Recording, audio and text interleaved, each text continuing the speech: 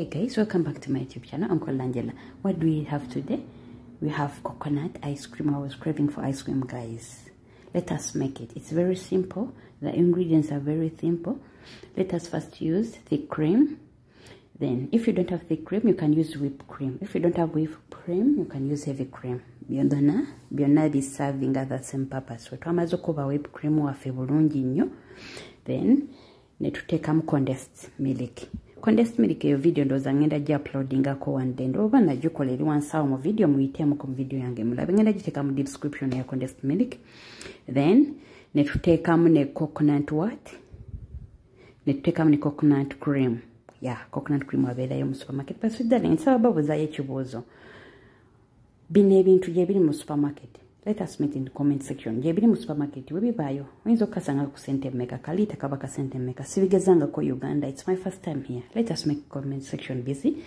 Thank you very much. Okulavinga video zange okuzilikinga okuzisharinga you are the best guys. Then kubira ddala nga bwe kisoboka then omala okukuba bulungi ngaolaba bituuse ku stage obyagalako bikole ki biteeke mukapaani oyinza okukozesa obukopo like oyinza obiba nga obikolera abaana. Saturday mu condensed milk nga saagala bibeere nga biwoomerera nnyo. Then webiba nga byabaana tebinyuma nnyo kuba nga biwoomerera then nembiteeka mu kano kapaani ngaoyinza obuteeka mu bukopo obutono n'oteekamu obuti abaana ne balya.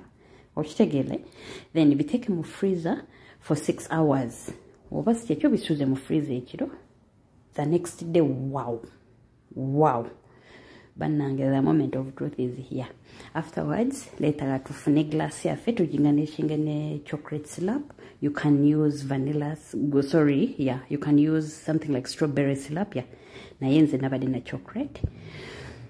Guys do i need to go to cafe to have this? Wow this is on another level darling a sweet darling. So bwetutyo bwetukoze ka ice cream cafe senga mbadde waka n'abantu banga babiri basatu. Wow. Wow. Just check how nice it is. Nokafuulira ddala akamalala nentopingako bucoconut thank you for watching guys